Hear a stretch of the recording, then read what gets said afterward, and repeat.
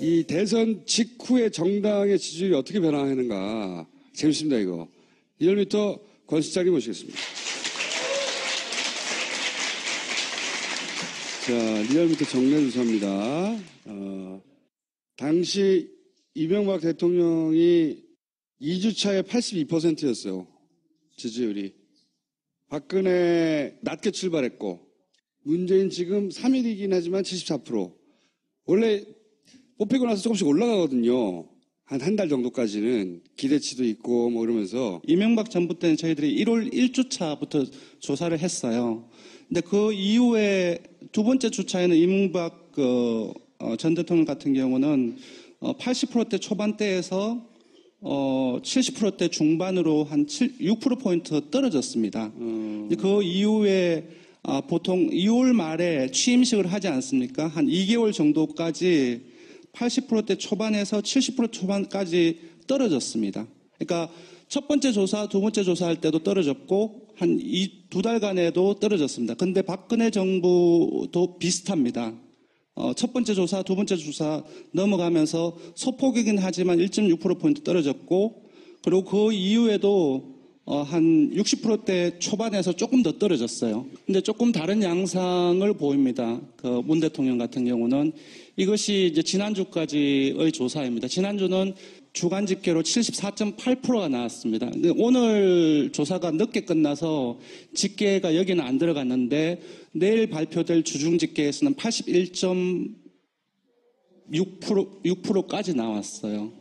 그러니까 첫 번째 주에서 두 번째 주로 넘어가는 과정에서 오히려 더 올라가고 예, 있다 계속. 한 8% 정도가 올랐다는 거죠.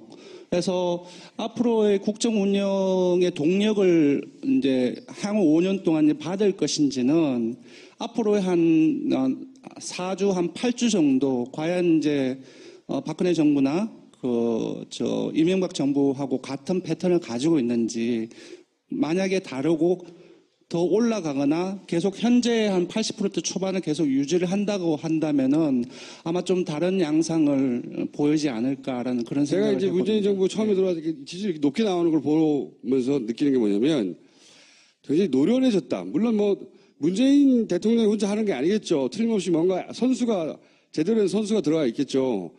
잘 다뤄요. 메시지 관리를 굉장히 잘하고 굉장히 있죠. 잘하고 있어요. 예. 아까 되게 바른정당 의원님께서 하신 말 중에 되게 인상 깊었던 게 있어요. 제목은? 예, 잘 안다. 국민들 마음을. 그렇지. 뭘 원하는지. 메시지 관리를 어, 정확하게 때리고 있어요. 여론조사를 했는데 지금 일주일 동안의 국정 운영과 여론조사에서 나타난 국민들의 마음이 완전히 일치해요. 국정 가치를 조사해 봤더니 정의와 소통이 1, 2입니다. 그 소통이라고 하면 우리 많이 봤잖아요. 직접 댓글 달고 그애 꼬마 밑에 기다려가 앉아가지고 쪼고리 앉아서 사인 받고 커피 마시고 그러한 모습들이 그게 이제 본인하고 너무 잘 어울리기도 하니까 네. 효과가 배가 되는 거죠. 지금 정의라는 부분들 이런 가치라든지 국정 과제, 민생과 경제, 청산과 개혁, 그 개혁 과제 중에서도 검찰 개혁 이런 부분들이 지난 일주일 동안에 했던 이런 부분들이 지금 여론조사의 민심과 완벽하게 일치하고 있습니다. 그래서 뭐냐 하면은 저는 많이 공부하고 국민의 마음을 많이 읽었다라고 생각이 들어요. 그 속에서 아주 기술적인 메시지 관리가 나오지 그렇지 않고서는 이게 나올 수가 없는 그 거거든요. 메시지 관리도 잘 이렇게 제가 이번 정부가 아마도 노무현 정부 이기여서 그럴 수도 있고요. 그럴 수도 있고. 그러니까 문재인 대통령 본인 스스로가 과- 그때 뭘 잘못했는지 복귀를 오랫동안 했기 때문에 그럴 수도 있고 혹은 전문가들이 제대로 참여해서 그럴 수도 있는데 여하간 그 결과치로 메시지 관리도 그 우선순위를 정하는 것도 맞습니다. 예. 어떤 메시지를 어떤 장면으로 보여줄지도 네. 사실 마음이 있는데 그게 안 보이면 어- 방법이 없거든요. 잘하고 있는지 아닌지 모르고. 놀라운 결과인데 사실 지금 대구 경북 60대 이상 보수층 자유공각된 지지자는 현 정부의 대척점에 있는 반대파들입니다. 그 이분들께서 계속 올라가요. 82, 전국 평균보다 대구 경북은 더 높았어요. 어제 같은 경우는. 여기에 조국의 지분이 있습니다. 계속 말하지만 내가. 그리고 60대 이상 그 어르신들 같은 경우도 60대 초반부터 시작해 이제 70대로 올라섰고, 저기도 조곡이 있어요. 예. 보수층 같은 경우는 50대 초반, 초중반. 여성 없나? 여성 저- 지지율 따로? 이게 조금 놀라운 것은 예, 대꾸 안 할게요. 네. 자유한국당 지지자들이 30%대 초반에 준비해서 40%까지 올랐어요. 물론 아직까지 반대는 더 많습니다. 그래서 저는 이걸 보면서 오늘 포털에 1위에 올랐던데 일자리 추경을 야 3당이 전부 다 반대를 했더라고요.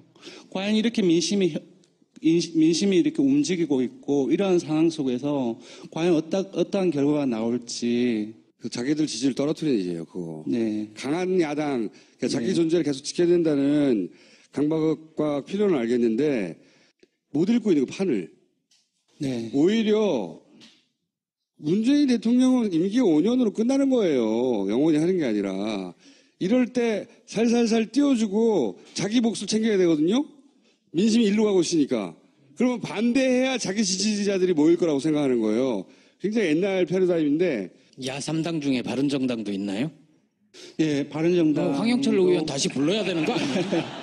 그래서 저는 어떤 생각이 드냐면은 정말 민심과 함께하는 태풍이 힘으로 칠 때는 그냥 갈대처럼 누워야 된다고 생각해요. 아니 뭐냐면 그 태풍이 민심과 하지 않을 때는 그냥 고추 서서 그냥 대나 부러지면 되는데 민심과 하는 태풍일 때는 갈대처럼 누워야지 회생의 어떤 기본 근거를 마련할 수 있다고 생각하는데 아까 이제 바른장 의원님께서 말씀하셨던 것은 대통령이 국민을 위해서 잘하면은 정권 안 잡아도 좋다는 거잖아요. 저는 거기서부터 아니, 출발해야 된다고 그 생각해요. 마음까지는 진심일 거라고 보는데, 그렇기 때문에 개헌을 해야 한다잖아요. 아, 그건 얘기 못 들었네. 거기서부터는 정치적인 지금 어차피 국민들을 잘 살게 하는 문- 문제는 어, 복지라든지 그리고 이제 시장에서의 어떤 월급을 어떻게 주느냐 그런 문제라고 생각이 드는데 잘 보시면 이러한 것들이 어, 보수층이나 중도층마저도 지금 우리나라의 경제 상황 속에서는 재분배나 분배 이런 부분들에 대해서 책임 인식, 국가의 책임 인식이라든지 법인세 인상이라든지 기본소득 국가보장제라든지 최저임금 일만, 일만이라든지 조금씩 정도는 다르지만 다 비슷합니다. 보수층마저도 이렇게 그 찬성하는 더건 많고요. 기본소득을 국가가 보장하는 걸 진보보다 보수가 더 찬성해. 네. 그리고 법인세 인상도 어, 정도는 조금 차이가 있지만 전반적으로 찬성을 하는 입장인 겁니다. 이거는 저희들이 이제 문화일보하고 매경조사에서 어, 발표가 안 됐던 부분들을 뽑아서 보여드리는 건데요. 지금 문재인 정부가 아직까지 분배 재분배와 관련된 정책을 본격화시키지는 않았지만 이런 부분들로 분명히 가져날 거라고 생각이 들고 바른정당이나 자유 아, 그 국민의당 같은 경우도 중도를 매개로 기반 또는 보수를 그 기반으로 해서 자신의 어떤 지지세를 확장하기 위해서는 이러한 부분들을 읽어야 되지 않을까라는 생각이 듭니다. 기본소득 국가보장제를 보수가 82%나 찬성한다고요? 저는 놀랐습니다. 기본소득 국가보장제가 뭔지 잘 모르신 거 아니에요? 뭐 그럴 수도 있겠죠.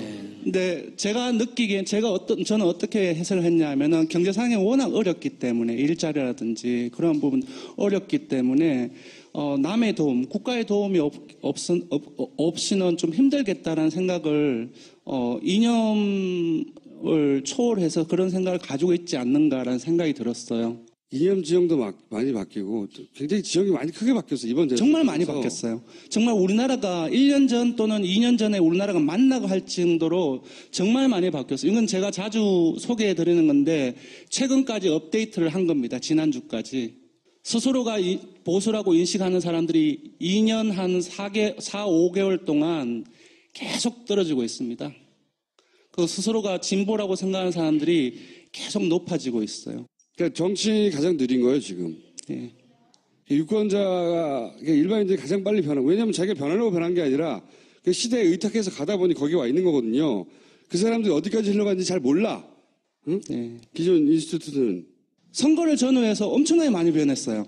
예, 보시면은 그거는 대통령 이펙트죠. 예. 예. 민주당은 이제 오늘 발표는 안 됐지만 민주, 지난주까지는 민주당은 40% 중반이었는데 어, 이게 정당 지조는 열심히 해 등록을 해야 돼요. 등록을 안 하면은 이 끌려갑니다. 과태료 3천만 또 맞거든요. 그래서 제가 오늘 등록을 안 한 상태이기 때문에 말씀은 못, 드리지, 못 드리겠지만 지금 금방 문재인 효과라고 했는데 문재인 효과가 맞는 것 같아요. 이거 어, 이 숫자보다 상당히 많이 높아졌고요.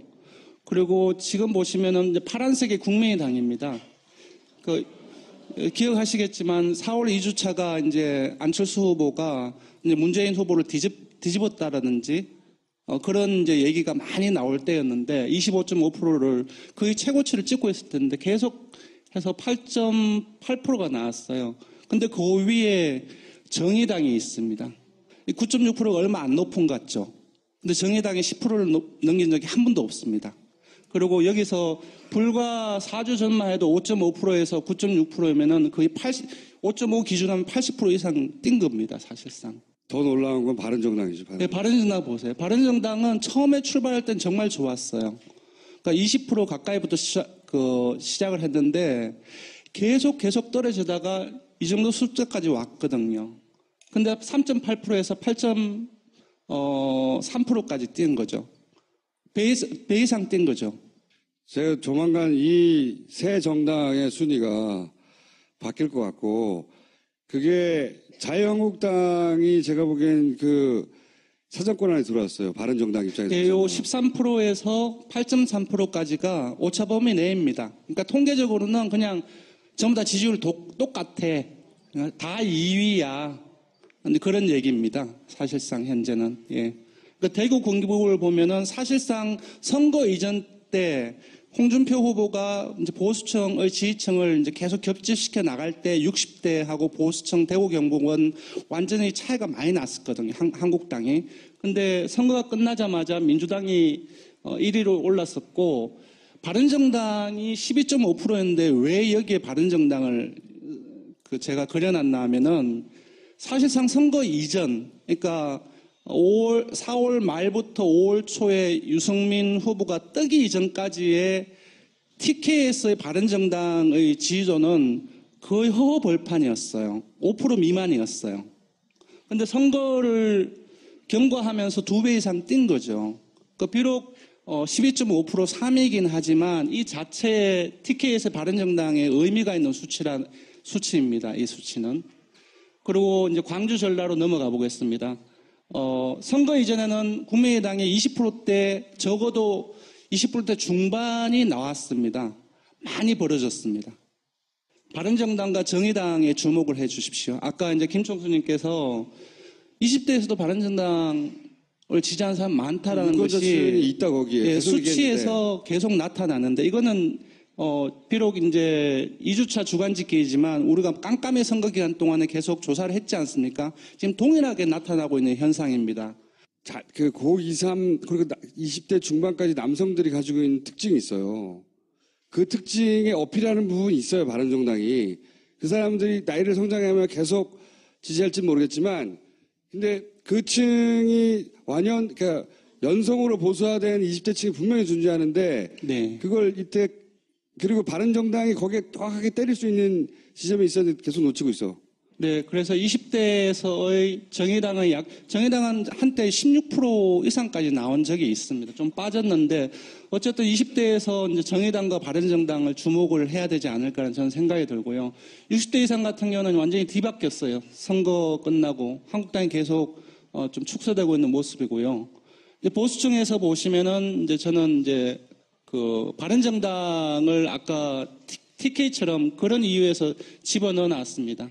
그러니까 선거 이전에는 보수층에서 이렇게 나오지 않았어요. 5%대, 4%대였는데 보수층에서도 물론 보수층도 다 같은 보수층이 아닐 겁니다. 뭐 나눈다면 이제 합리적인 보수 아니면 비합리적인 보수를 한번 나눠보자고 한다면 그 속에서 합리적인 보수층이 바른정당을 지지하는 12.9%에 많이 들어가 있겠죠. 문- 문재인 정부가 그렇게 바, 보수층의 색깔도 바꿔 나간다라고 저는 생각을 하고 있는데 그런 측면에서 봤을 때의 바른정당의 보수층에서의 앞으로 주도권을 잡는 것은 상당히 좀 밝지 않나 저는 그렇게 좀 생각을 합니다. 그 진보층 같은 경우도 이제 정의당이 비록 마지막에 6, 6.2%밖에 나오지, 심후보가 나오지 않았지만 이 진보층 내에서도 16%는 상당히 높은 숫자예요. 이 바른정당과 국민의당이 나누고 있는 중도층 사실 중도층이라는 건 존재하지 않는 거거든요. 중도층은 의사결정을 잘 못, 못하고 있거나 보류하고 있는 층이에요. 네, 그렇게 볼 수도 있지만 그 수, 숫자는 아까 앞에서 봤지만 어, 가장 많습니다. 한 4, 40%가 저- 정도 되는데 어, 제가 생각에는 바른정당 기준으로 하자면은 어, 대구 경북과 보수층을 버릴 수는 없어요. 버릴 수는 없겠지만 이게 예. 50까지 갔어요? 얘기하면 안 됩니다. 큰일 나요. 금요일 이후에는 발표할 거잖아요. 왜냐하면 지난번에 저희들이 과태료를 1,500만 또 맞았거든요. 수요일 날 딱 방송이 끝나자마자 몇 시간 읽어 불과 몇 시간 안 지나서 어떤 분들이 다 아, 녹화를 해서 올려버린 거예요. 그러니까 저희들은 열심히 해 금요일 날에 그 등록을 하는데 이미 그 수요일 날 끝나자마자 바로 올라와 버린 거죠. 그러니까 리얼미터 데이터는 방송이 올- 그 업데이트 되기 전에는 올리지 말라고 네. 얘기를 해도 올리는 거지. 네. 궁금하니까! 네, 그게 금방 과태료 1,500 금방 그런 부분하고 한 연관이 번더 하자. 그래서 이제 예. 말을 해도 사실 개인적으로 궁금해서 개인 카톡을 했는데 그걸 또 듣고 다른 사람이 또 올릴 수도 있잖아요. 네. 그러니까 인터넷에 한번 들어가면 막기가 어려우니까 아예 말 안 하겠다는 거죠. 예. 네. 그래서 지금 정치 구도, 그러니까 민심으로 본 정치 구도는 사실상 거의 민주당이 지금 태풍의 핵처럼 모든 걸 끌어당기고 있는 상황입니다. 그래서 이제 이번 주에는 여기에서 조금 더 이 네 정당이 더 떨어질 수도 있을 것 같아요. 근데 이제 그거는 차치하고 이제 바른 정당과 정의당 입장에서 봤을 때는 아주 이제 전통적으로 어디는 어디 편, 어디는 어디 편, 우리는 여기에 공략해야 돼. 근데 그런 것을 다 깨야 된다고 생각이 들어요. 이번 대선을 거치면서 많은 게 깨졌거든요. 그러니까 그 박정희 패러다임도 깨졌지만 그게 깨지는 가운데 사실은 뭐가 성공 모델이지 뭐 모르는 이 공백 상태가 있었단 말이죠. 그게 거기서 문재인이 들어왔어요. 이게 성공 모델이라고. 확 쏠리는 거예요. 대통령이 됐으니까 성공 모델이잖아. 그러니까 문재인으로 대변되는 가치가 주류 가치를 올라서고 있는데 조국이 나타났어. 여기까지 하고 나머지 게스트 모시겠습니다. 네, 고맙습니다. 네. 했던 이런 부분들이 지금 여론조사의 민심과 완벽하게 일치하고 있습니다. 그래서 뭐냐 하면은 저는 많이 공부하고 국민의 마음을 많이 읽었다라고 생각이 들어요. 그 속에서 아주 기술적인 메시지 관리가 나오지 그렇지 않고서는 이게 나올 수가 없는 그 거거든요. 메시지 관리도 잘 이렇게 제가 이번 정부가 아마도 노무현 정부 이기여서 그럴 수도 있고요. 그럴 수도 있고. 그러니까 문재인 대통령 본인 스스로가 과- 그때 뭘 잘못했는지 복귀를 오랫동안 했기 때문에 그럴 수도 있고 혹은 전문가들이 제대로 참여해서 그럴 수도 있는데 여하간 그 결과치로 메시지 관리도 그 우선순위를 정하는 것도 맞습니다. 예. 어떤 메시지를 어떤 장면으로 보여줄지도 네. 사실 마음이 있는데 그게 안 보이면 어- 방법이 없거든요. 잘하고 있는지 아닌지 모르고. 놀라운 결과인데 사실 지금 대구 경북 60대 이상 보수층 자유공각된 지지자는 현 정부의 대척점에 있는 반대파들입니다. 그 이분들께서 계속 올라가요. 82 전국 평균보다 대구 경북은 더 높았어요. 어제 같은 경우는 여기에 조국의 지분이 있습니다. 이 대선 직후에 정당의 지지율이 어떻게 변화하는가. 재밌습니다, 이거. 1미터 권 실장님 모시겠습니다. 자, 리얼미터 정례 주사입니다. 어, 당시 이명박 대통령이 2주차에 82%였어요. 지지율이. 박근혜 낮게 출발했고, 문재인 지금 3일이긴 하지만 74%. 원래 뽑히고 나서 조금씩 올라가거든요. 한 한 달 정도까지는 기대치도 있고 뭐 이러면서 이명박 정부 때는 저희들이 1월 1주차부터 조사를 했어요. 근데 그 이후에 두 번째 주차에는 이명박 그, 어, 전 대통령 같은 경우는 어, 80%대 초반대에서 어, 70%대 중반으로 한 7, 6%포인트 떨어졌습니다. 근데 그 이후에 아, 보통 2월 말에 취임식을 하지 않습니까? 한 2개월 정도까지 80%대 초반에서 70% 초반까지 떨어졌습니다. 그러니까 첫 번째 조사, 두 번째 조사할 때도 떨어졌고 한이두 달간에도 떨어졌습니다. 근데 박근혜 정부도 비슷합니다. 계속 말하지만 내가 그리고 60대 이상 그 어르신들 같은 경우도 60대 초반부터 시작해 이제 70대로 올라섰고 저기도 조국이 있어요? 예. 보수층 같은 경우는 50대 초반 초중반 여성 없나 여성 저- 지지율 따로 조금 놀라운 것은 예, 대꾸 안 할게요. 네. 자유한국당 지지자들이 30%대 초반에 준비해서 40%까지 올랐어요. 물론 아직까지 반대는 더 많습니다. 그래서 저는 이걸 보면서 오늘 포털에 1위에 올랐던데 일자리 추경을 야 3당이 전부 다 반대를 했더라고요. 과연 이렇게 민심이 민심이 이렇게 움직이고 있고 이러한 상황 속에서 과연 어떠, 어떠한 결과가 나올지 그 자기들 지지를 떨어뜨리는 일이에요 그거 네. 강한 야당 그러니까 자기 존재를 계속 지켜야 된다는 강박과 필요는 알겠는데 못 읽고 있는 그 판을 네. 오히려 문재인 대통령은 임기 5년으로 끝나는 거예요. 영원히 하는 게 아니라. 이럴 때 살살살 띄워주고 자기 몫을 챙겨야 되거든요. 민심이 일로 가고 있으니까. 그러면 반대해야 자기 지지자들이 모일 거라고 생각하는 거예요. 굉장히 옛날 패러다.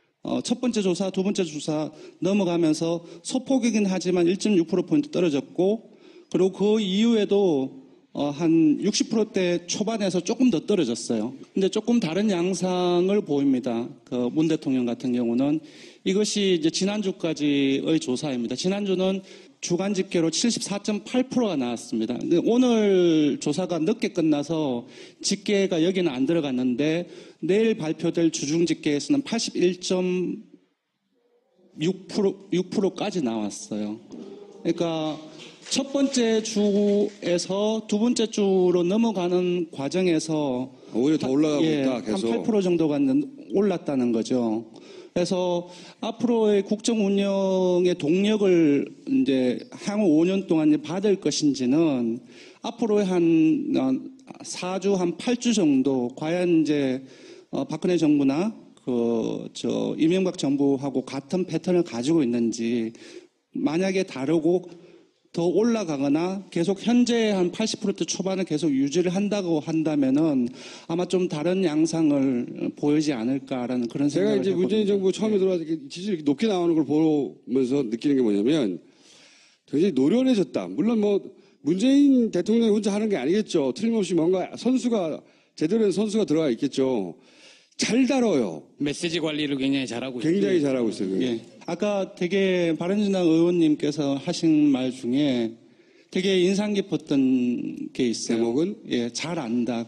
국민들 마음을. 그렇지. 원하는지. 메시지 관리를 어, 정확하게 때리고 있어요. 여론조사를 했는데 지금 일주일 동안의 국정 운영과 여론조사에서 나타난 국민들의 마음이 완전히 일치해요. 국정 가치를 조사해 봤더니 정의와 소통이 1, 2입니다. 그 소통이라고 하면 우리 많이 봤잖아요. 직접 댓글 달고 그 애 꼬마 밑에 기다려가 앉아가지고 쪼고리 앉아서 사인 받고 커피 마시고 그러한 모습들이 이게 이제 본인하고 너무 잘 어울리기도 하니까 네. 효과가 배가 되는 거죠. 지금 정의라는 부분들 이런 가치라든지 국정 과제, 민생과 경제, 청산과 개혁, 그 개혁 과제 중에서도 검찰 개혁 이런 부분들이 지난 일주일 동안에